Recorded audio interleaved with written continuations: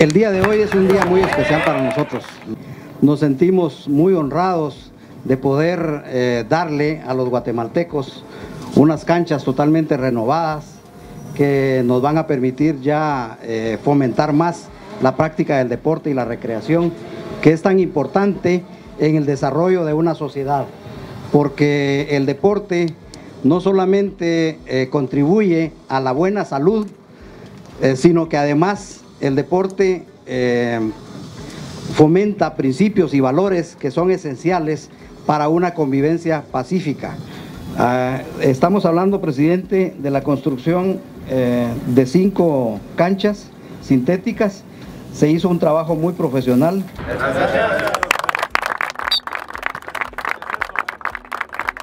Buenos días a todos, un verdadero placer poder estar hoy acá en esta supervisión.